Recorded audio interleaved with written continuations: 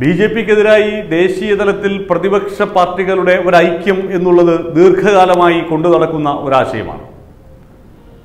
അതിന് കോൺഗ്രസ് പലവട്ടം നേതൃത്വം നൽകിയെങ്കിലും അത്തരമൊരു ആശയത്തിലേക്ക് തെരഞ്ഞെടുപ്പ് വേദികളിൽ ഒന്നും എത്തിച്ചേരാൻ കോൺഗ്രസിനോ ഒപ്പം നിൽക്കുന്ന പ്രതിപക്ഷ പാർട്ടികൾക്കോ സാധിച്ചിരുന്നില്ല. ഒരുപാട് പ്രാദേശിക രാഷ്ട്രീയ പാർട്ടികൾ ഉള്ളതുകൊണ്ട് തന്നെ ആ ഐക്യത്തിന്റെ സാധ്യത എത്രമാത്രം എന്നുള്ള ചോദ്യം നേരത്തെ തന്നെ ഉയർന്നിരുന്നതാണ്. ഇപ്പോഴത്തെ സാഹചര്യത്തിൽ അതായത് രണ്ടാം വരവിൽ വളരെ കൃത്യമായി ബി ജെ പി സംഘപരിവാർ അജണ്ടകൾ നടപ്പിലാക്കുന്നതിന് അവരുടെ മൃഗീയ ഭൂരിപക്ഷത്തെ ഉപയോഗിച്ചു തുടങ്ങിയിരിക്കുന്നു എന്ന തിരിച്ചറിവുണ്ടാകുമ്പോൾ ആ പ്രതിപക്ഷ ഐക്യം ഉണ്ടായില്ലെങ്കിൽ കൂടുതൽ അപകടകരമായ സ്ഥിതിയിലേക്ക് കാര്യങ്ങൾ നീങ്ങും എന്നുള്ള ബോധ്യത്തിന്റെ അടിസ്ഥാനത്തിൽ അത്തരം ശ്രമങ്ങൾ പിന്നെയും ആരംഭിക്കുമ്പോഴും പ്രതിപക്ഷ കക്ഷികൾ ഒരേ മനസ്സോടെ കോൺഗ്രസിന് പിന്നിൽ അണിനിരക്കാൻ തയ്യാറാകുന്നില്ല എന്നതാണ് യാഥാർത്ഥ്യം. അല്ലെങ്കിൽ കോൺഗ്രസിന്റെ രാഷ്ട്രീയ തന്ത്രശാലകളിൽ ഉരുത്തിരിയുന്ന ആശയങ്ങൾക്ക് പ്രതിപക്ഷ കക്ഷികളുടെ മതിപ്പ് പിടിച്ചുപറ്റാൻ സാധിക്കുന്നില്ല എന്ന് ചുരുക്കം. നേരത്തെയൊക്കെ പ്രതിപക്ഷ പാർട്ടികളെയൊക്കെ ഒരുമിച്ച് നിർത്താൻ പ്രാദേശിക പാർട്ടികളെയൊക്കെ ഒരുമിച്ച് നിർത്താൻ വേണ്ട പ്രാഗൽഭ്യമുള്ള തന്ത്രങ്ങൾ കോൺഗ്രസിന്റെ പണിശാലകളിൽ വളരെ കൃത്യമായി മെനഞ്ഞെടുത്തിരുന്നുവെങ്കിലും ഇപ്പോൾ എന്തുകൊണ്ടോ അത് സാധ്യമാകുന്നില്ല തന്നെ.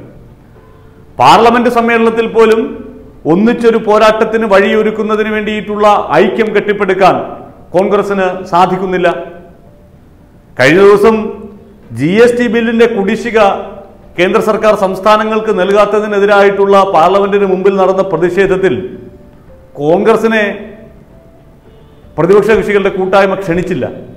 കോൺഗ്രസ്സുകാർ ഇല്ലാതെയാണ് ആ പ്രതിഷേധം നടന്നത്. അതായത് ഒരു കോൺഗ്രസ് ഇതര പ്രതിപക്ഷ ഐക്യം എന്നുള്ള ആശയത്തിലേക്ക് ചില രാഷ്ട്രീയ പാർട്ടികളെങ്കിലും നേരത്തെ ചിന്തിച്ചിരുന്നത് പോലെ കടന്നു തുടങ്ങിയിരിക്കുന്നു എന്നർത്ഥം.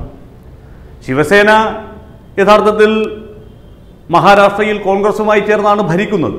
പക്ഷെ അപ്പോൾ പോലും ശിവസേനയും എൻ സി പിയും ടി ആർ എസും ഒക്കെ ഈ ജി എസ് ടി കുടിശ്ശിക നൽകാത്തതിനെതിരായിട്ടുള്ള പ്രതിഷേധത്തിൽ ഒത്തുചേരുമ്പോഴും തങ്ങളോടൊപ്പം ഭരിക്കുന്ന കോൺഗ്രസിനെ ആ പ്രതിഷേധത്തിന്റെ ഭാഗമാക്കാൻ അവർ ശ്രമം നടത്തിയില്ല എന്നുള്ളതാണ്.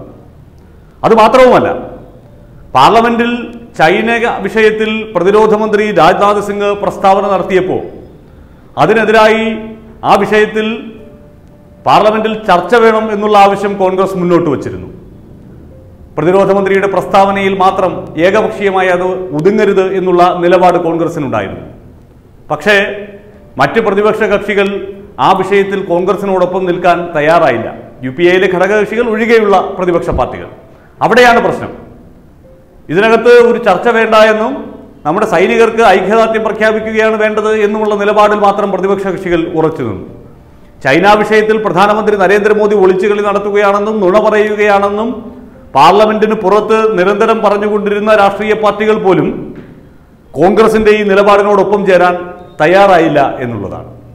അതായത് ഒരുമിച്ചുള്ള പോരാട്ടം അനിവാര്യമായിരിക്കുന്ന ഘട്ടത്തിൽ പോലും അല്ലെങ്കിൽ അത്തരം പ്രാധാന്യമുള്ള വിഷയങ്ങളിൽ പോലും കോൺഗ്രസിന് യു പി എ ഇതര പ്രതിപക്ഷ പാർട്ടികളെ തങ്ങളോടൊപ്പം നിർത്താൻ സാധിക്കാതെ പോകുന്നത് എന്തുകൊണ്ട് എന്നുള്ള പ്രസക്തമായ ചോദ്യമുണ്ടാകുന്നുണ്ട് രാഷ്ട്രീയമായ കൗശലം കോൺഗ്രസിന് നഷ്ടമാകുന്നതിന്റെ സൂചനയായി അതിനെ കാണേണ്ടി വരുന്നു. അതല്ല എങ്കിൽ മറുവശത്ത് സ്വതവേ ദുർബലമായിരിക്കുന്ന കോൺഗ്രസിന് തങ്ങളുടെ കൂടി പിൻബലത്തോടു കൂടി വീണ്ടും പച്ച പിടിക്കാനുള്ള ഒരു അവസരം എന്തിന് ഒരുക്കി കൊടുക്കുന്നു എന്നുള്ളതാണ്.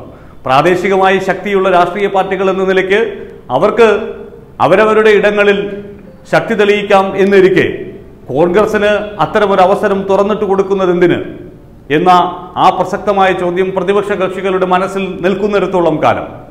കോൺഗ്രസിന്റെ അണിയറകളിലെ നിലവിലെ കൗശലങ്ങൾ മതിയാകാതെ വരും പ്രതിപക്ഷ ഐക്യം എന്ന ആ വലിയ ലക്ഷ്യത്തിലേക്ക് എത്താൻ.